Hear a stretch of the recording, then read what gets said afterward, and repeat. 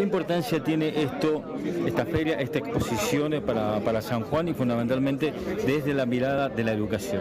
Bien, es muy importante porque nosotros, recordemos, somos una provincia minera también y tenemos escuelas que preparan para esto.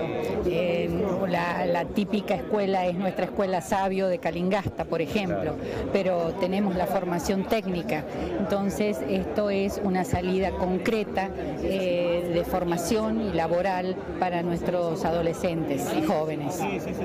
Hay una, hay una buena articulación eh, entre el Ministerio de Minería y el Ministerio de Educación con este tipo de, iniciativas, ¿no? Fundamentalmente enfocadas a eso. Sí, sí, totalmente. Trabajamos muy mancomunadamente, nos ayudamos mutuamente. Hay muchos, muchas cuestiones de minería que después las vemos reflejadas en las escuelas, en apoyo a, a las instituciones educativas, cierres, Zooms y demás que se revierte de la minería en educación. Claro, aportes económicos hacia obras, fundamentalmente. Así es, fundamentalmente. Bueno, ministra, eh, y en el contexto eh, global eh, de, lo que significa esta, esta feria, porque acá está lo más importante del mundo en cuanto a, minería.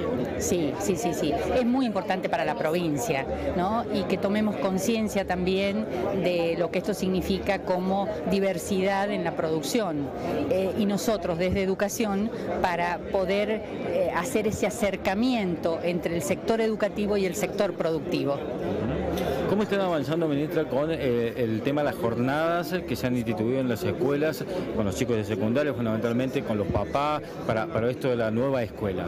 Bien, eh, estamos trabajando puntualmente con hora extendida, por ejemplo, muy bien, seguimos avanzando, hay escuelas que se nos van sumando a la propuesta, estamos muy conformes con el trabajo que se está realizando, sobre final de año vamos a hacer un cierre, así que ustedes van a tener acceso a ver las producciones de estos chicos en esta hora extendida.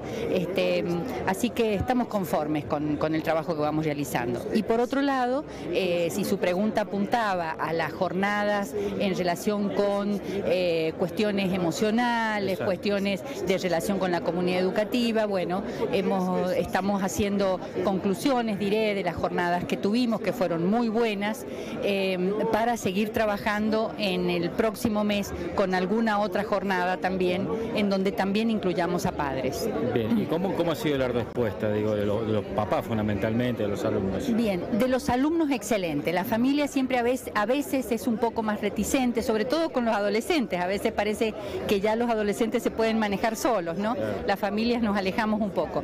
Pero, pero cuando los llamamos están, cuando los llamamos están. Eh, y los necesitamos, porque es un momento en donde tenemos que sentarnos a escuchar y a mirar a nuestros adolescentes y a nuestros jóvenes. Totalmente.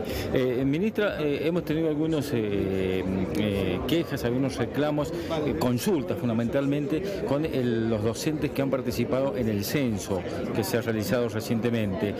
nos dicen de que no tienen la, valoración.